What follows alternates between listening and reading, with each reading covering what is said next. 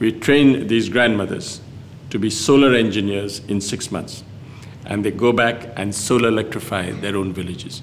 So over 20,000 houses have been solar electrified in 25 of the least developed countries in Africa. So we've covered the whole continent of Africa. And there are about 300 grandmothers who've been trained between 2008 and 2013.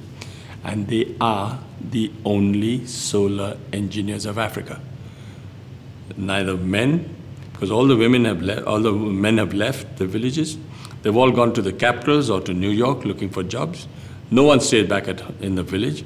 So we believe men are untrainable. Men are restless, men are compulsively mobile, they all want a certificate, and they all to leave the village. So who's left? Very young and the very old.